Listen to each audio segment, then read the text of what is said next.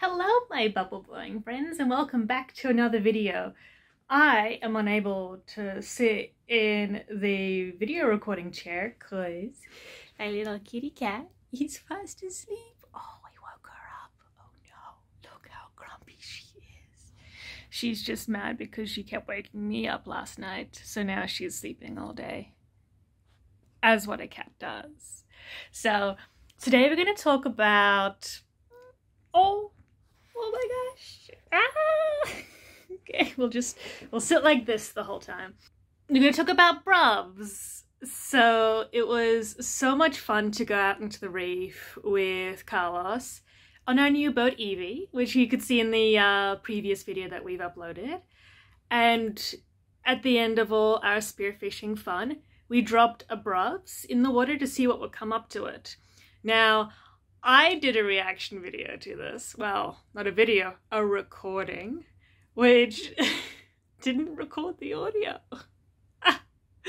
so I don't want to be disingenuous and do another reaction video when it's not a reaction video.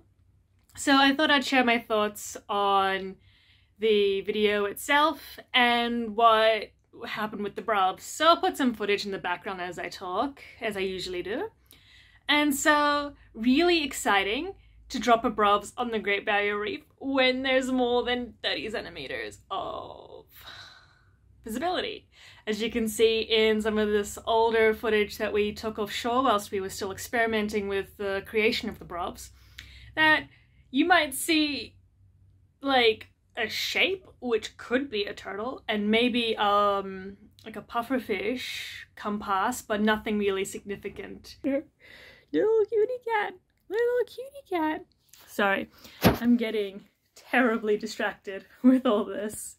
Um, so what was I saying? Yes, so really cool stuff to drop the bruvs on the Great Barrier Reef to see what comes up to it. There were a couple of annoying limitations that I really want to fix up.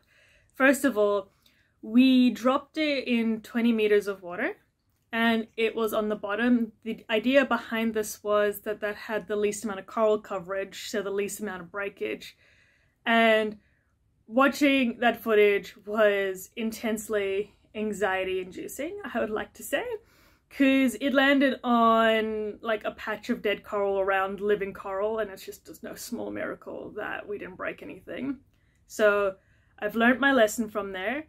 I think in the future what I'm going to do is I'm just going to have to manually place it in shallower zones and make sure that it isn't going to be flopping around and breaking stuff because I don't want to kill coral here.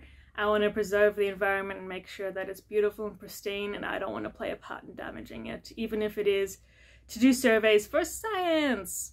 That was intense for me and probably the coral as well, but interesting stuff that came up to it. Lots of different kinds of fish. Um, I haven't looked in my special book yet to see what kinds of fish they were. Uh, we did see things like goatfish and a coral trout that liked to hang around. He had quite a personality. At first he was kind of apprehensive and then he sort of came closer. Then we had a triggerfish, uh, which came up to the bruvs very, very confident and was like chewing it up and pulling the squid legs out. And that little fish got a bit of action out of it and got some, like, I think, I think it's a tusk fish, but I need to like look it up. And lots of other generic reef fish, damselfish, but the angle of the GoPro as well was, I think, a little bit too like facing downwards. That's just how it landed. It landed sort of on the bait itself, so it was more like an angle like this. Which meant that the camera was facing down to the ground for most of the video. And when we put it down, I did see a shark swim up to it, but it didn't get caught on camera. that would have been a fun like interaction. So overall, I think this was like a big success in the progress of creating our little bruvs. Oh, didn't even tell you what a bruvs is. For those who don't know, it's essentially a way to do underwater video surveys uh, to sort of see what's there when either people can't go down. Oh goodbye. What are you doing? Um, for people who can't go down or to sort of attract fish that might be a bit shyer around people, particularly on the reef that we are at. It is a spearing reef and we hadn't seen a coral trout that large um, anywhere near. Oh distracted. Anywhere near that size when we were spearing. So you do get different kinds of fish that are a bit shy around people but may be more attracted to bait. However, as we can see in the footage, it is biased towards predator fish. So we didn't see a single parrotfish, even though that reef has quite a lot of parrotfish on it.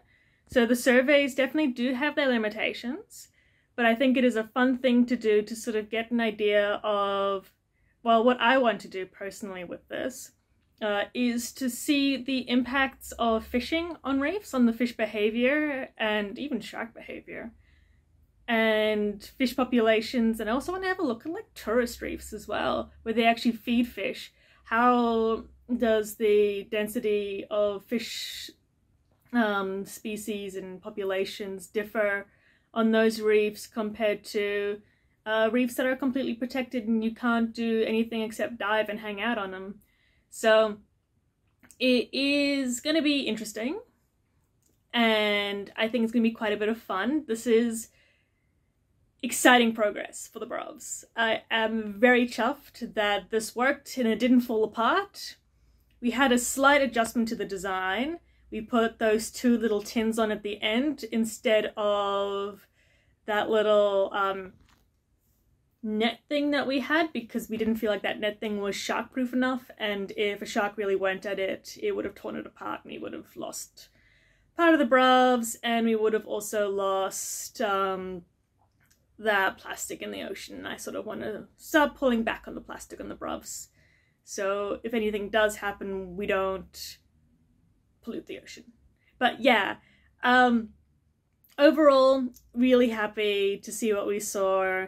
And uh, this is just like a progress video, really, on the bruvs. And I'm excited for the next time that we get it that little bit better.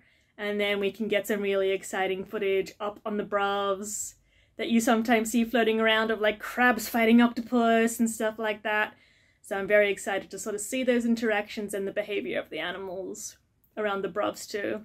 Thank you for watching this video. It's been great. Sippers, what do you have to say to all our friends? Oh, is that right? is that right? Sippers says goodbye too. Thank you everyone for watching and until next time, see you later. Bye bye. Good girl. Oh, you're so cute. You're so cute.